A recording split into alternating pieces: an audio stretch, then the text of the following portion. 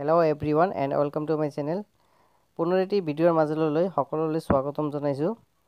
এইটো ভিডিঅ'ত মই আলোচনা কৰিবলৈ লৈছোঁ নৱম শ্ৰেণীৰ সপ্তম অধ্যায়ৰ দুটা উদাহৰণৰ বিষয়ে। ইয়াৰ আগতে কেইটামান প্ৰশ্ন আমি আলোচনা কৰিছোঁ। যদি কাৰোবাৰ কিবা অসুবিধা থাকে তেনেহ'লে মোক কমেণ্ট বক্সত জনালে মই তাক ধুনীয়াকৈ বুজাই দিম।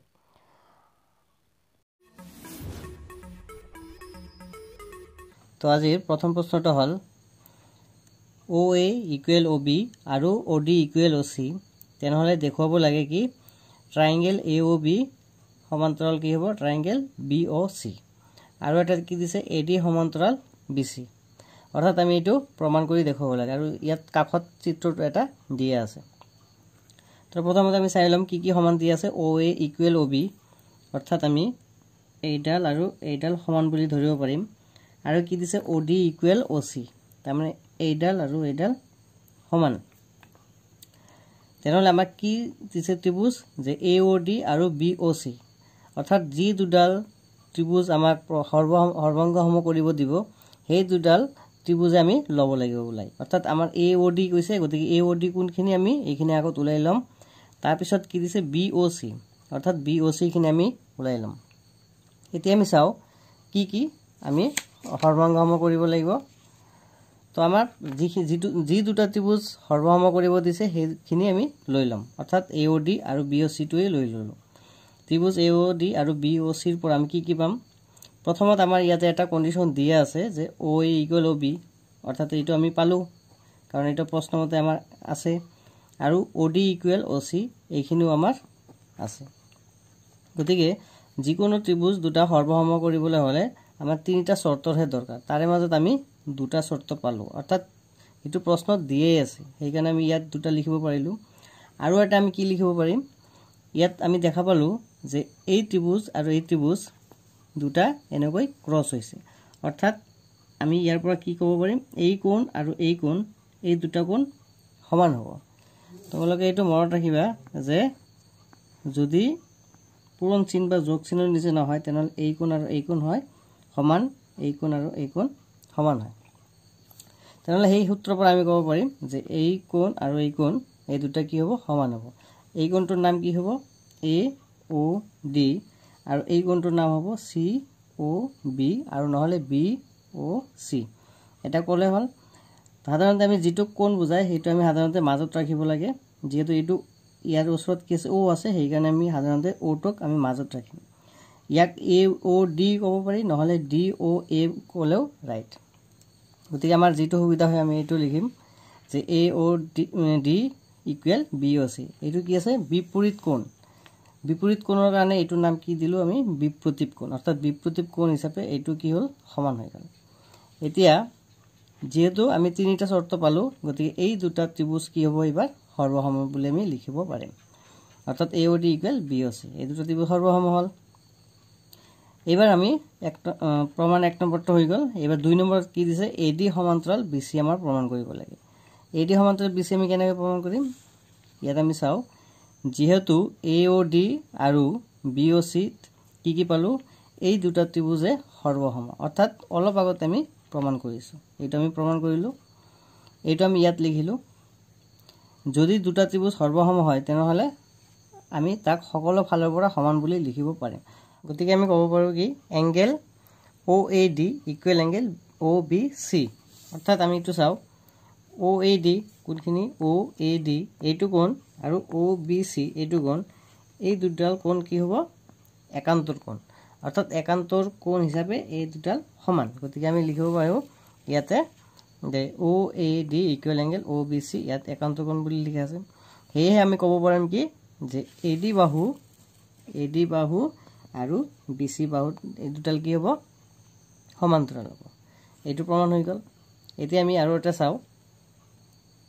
তো দুই নম্বৰ প্ৰশ্নটো হ'ল এ বি এডাল ৰেখাখণ্ড আৰু এল ইয়াৰ লম্ব সমদ্বিখণ্ড পি এলৰ ওপৰত এটা বিন্দু হ'লে দেখুওৱা যে পি বিন্দুটো এ আৰু বিৰ পৰা সমদূৰৱৰ্তী। অৰ্থাৎ এইবিলাক জেমেতি আহিলে হয়তো তোমালোকক চিত্ৰটো নিদিবও পাৰে গতিকে চিত্ৰটো কেনেকৈ আঁকে সেইটো আমি এটা টিপছ মই তোমালোকক দেখুৱাই আছোঁ। প্ৰথমত কি হৈছে এ বি এডাল ৰেখাখণ্ড। ধৰি লোৱা হ'ল তোমালোকক চিত্ৰডাল দিয়া নাই। তো আমি এডাল এ বি ৰেখাখণ্ড ইয়াতে আঁকিলোঁ। আৰু এল ইয়াৰ লম্ব সমদ্বিখণ্ডক। লম্ব মানে নব্বৈ ডিগ্ৰী হ'ব লাগিব। আৰু সম মানে সমান ডি মানে দুটা খণ্ডক মানে খণ্ড। অৰ্থাৎ আমি যিডাল লম্ব আঁকিম লম্ব আমি ইয়াতেও আঁকিব পাৰোঁ ইয়াতেও আঁকিব পাৰোঁ আমি য'তে ইচ্ছা তাতে আমি লম্ব আঁকিব পাৰোঁ। আৰু প্ৰতিডালে নব্বৈ ডিগ্ৰীয়ে হ'ব। কিন্তু আমাৰ কণ্ডিশ্যনটো কি দিছে? লম্ব সমদ্বিখণ্ডক হ'ব লাগিব। মানে সমান ভাগত ভাগ হ'ব লাগিব। গতিকে আমি মাজত এটা বিন্দু ল'ব লাগিব। আৰু আমি এনেকৈ টানি দিব লাগিব। এই মাজৰ বিন্দুটোৰ ওপৰত আমি কি আঁকিম? লম্ব এটা লাগিম ইয়াৰ ওপৰত কি হৈছে পি এলৰ ওপৰত এটা বিন্দু। আৰু এইটো হৈছে এল। এই এলৰ ওপৰত যিকোনো এটা ঠাইত আমি এটা পি বিন্দু ল'ব লাগিব। যিহেতু আমাক কৈছে যিকোনো এটা বিন্দু। এতিয়া কি কৈছে পি বিন্দুটো এ আৰু বিৰ পৰা সমদূৰৱৰ্তী। অৰ্থাৎ আমি পি বিন্দুটো এৰ পৰা ইমান দূৰত আৰু বিৰ পৰা এই এইখিনি দূৰত আছে। অৰ্থাৎ আমি আমাৰ দেখুৱাব লাগে যে পি বিন্দুটো এৰ পৰা কিমান দূৰত আছে? এ পি দূৰত আৰু বিৰ পৰা কিমান দূৰত? পি বি দূৰত। অৰ্থাৎ আমি দেখুৱাব লাগিব এই বাহু আৰু এই বাহু সমান। এইটো আমাক দেখুৱাব লাগিব। এতিয়া আমি চাওঁ বিশেষ সূত্ৰ বিশেষ সূত্ৰটো আমাক লিখিব লাগিব আৰু প্ৰশ্নত যি থাকে সেইমতে আমাৰ বিশেষ সূত্ৰটো হয়। তো ইয়াত কি আছে? এ বি এডাল ৰেখাখণ্ড আৰু এল ইয়াৰ লম্ব সমদ্বিখণ্ডক পি এলৰ ওপৰত বিন্দু। দেখুৱাব লাগে যে পি বিন্দুটো এ আৰু বিৰ পৰা সমদূৰৱৰ্তী। অৰ্থাৎ আমি এইটোৱে প্ৰমাণ কৰিম যে A P equal B P এতিয়া আমি চাওঁ কি আছে। ইয়াতে আৰু এটা চিত্ৰ মই আঁকি লৈছোঁ বুজাৰ সুবিধাৰ কাৰণে। ইয়াতে আমি চাওঁ কি কি প্ৰমাণ কৰিব দিছে। আমাৰ ফাৰ্ষ্ট প্ৰমাণ কৰিব দিছে কি যে এ পি আৰু বি পি এইটো সমান দেখুৱাব লাগে। তেনেহ'লে এই এ পি আৰু বি পি এই ৰেখা দুডাল কোনটো ত্ৰিভুজত আছে? এই এ পিটো আছে এ পি চি ত্ৰিভুজত। আৰু বি পিটো কোনটোৰ মাজত আছে? বি পি চি এই দুডাল ত্ৰিভুজৰ মাজত আছে। অৰ্থাৎ যি যিটো আমাক প্ৰমাণ কৰিব দিব সেই দুডাল কোনটো ত্ৰিভুজৰ মাজত আছে সেইটো আমি ফাৰ্ষ্ট ওলাই ল'ব লাগিব। তাৰপিছতহে আমি প্ৰমাণত আগবাঢ়িব পাৰিম। তো তাৰ কাৰণে আমি কি কৰিলোঁ এই দুডাল ক'ত ক'ত আছে ওলাই ল'লোঁ আৰু সেইমতে ত্ৰিভুজ দুডালো ওলাই ল'লোঁ। ত্ৰিভুজ সেইমতে আহিল এ চি পি আৰু এটা আহিল বি চি পি এতিয়া আমি কি লিখিম যে এ চি পি আৰু বি চি পি এই দুডাল সমান হ'ব। কিয় কাৰণ সমান হ'ব? কাৰণ আমাৰ প্ৰশ্নত দি আছে যে লম্ব সমদ্বিখণ্ডক বুলি শব্দ এটা আছিল। লম্ব প্ৰতিটো কোণ নব্বৈ হয় গতিকে সেইমতে এই কোণ আৰু এই কোণ এই দুটা কোণ কি হ'ব? সমান। প্ৰতিটো কোণ নব্বৈ ডিগ্ৰী। আৰু এডাল কি আছে?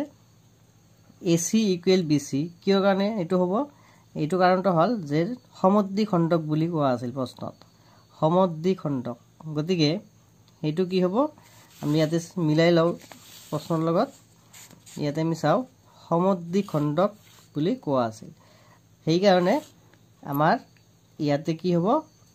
এই দুডাল বাহু কি হ'ব? সমান হ'ব। কি হ'ব? সমান হ'ব।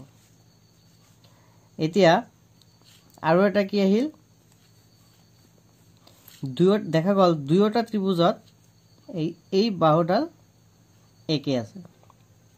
অৰ্থাৎ যেতিয়া আমি এই ত্ৰিভুজটো ল'ব যাম তেতিয়া চি পি বাহুটো আহে। যেতিয়া সোঁফালৰ ত্ৰিভুজটো ল'ব যাওঁ তেতিয়াও এই চি পি বাহুডাল আহে।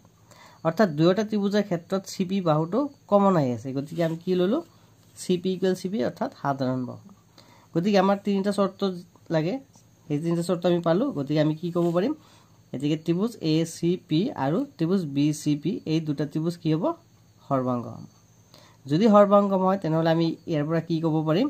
যে এ পি বাহু আৰু বি পি বাহু এই দুডাল বাহু কি হ'ব? সমান হ'ব। তো এইখিনি আছিল আজিৰ ভিডিঅ' তো নেক্সট আমি প্ৰশ্নবিলাক মই আলোচনা কৰি যাই থাকিম। তোমালোকে ভিডিঅ'বিলাক ফ'ল' কৰি যাবা। যদি কাৰোবাৰ কিবা অসুবিধা হয় তেনেহ'লে মোক কমেণ্ট বক্সত জনাবা। আৰু মোৰ ভিডিঅ'টো যদি ভাল লাগে অকণমান তেনেহ'লে প্লিজ লাইক কৰিবা শ্বেয়াৰ কৰিবা আৰু ছাবস্ক্ৰাইব কৰিবা। আৰু কাষত থকা ন'টিফিকেশ্যন বেল আইকনটো অন কৰি দিবা। ধন্যবাদ।